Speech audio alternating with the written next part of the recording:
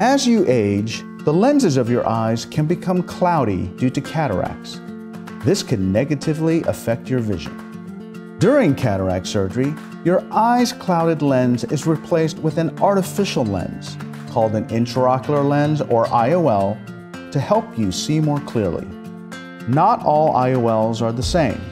Depending on which lens you choose, cataract surgery can not only make cloudy vision clear, it can also reduce the need for glasses or contact lenses. That's why it's important to understand your lens options so you can make the best choice. Monofocal lenses correct your vision for either distance or for close-up tasks like reading. You decide which is more important to you.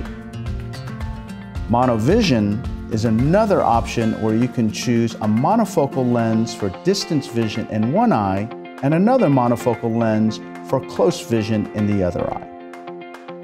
Toric lenses reduce astigmatism and improve the quality of your distance vision. Presbyopia correcting lenses, also called multifocal or extended depth of focus lenses, correct both distance and near vision.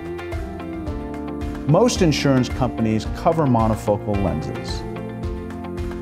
Other lenses come with an out-of-pocket charge. Cataract surgery provides an opportunity to select the lens that will give you the best possible vision and improve your quality of life.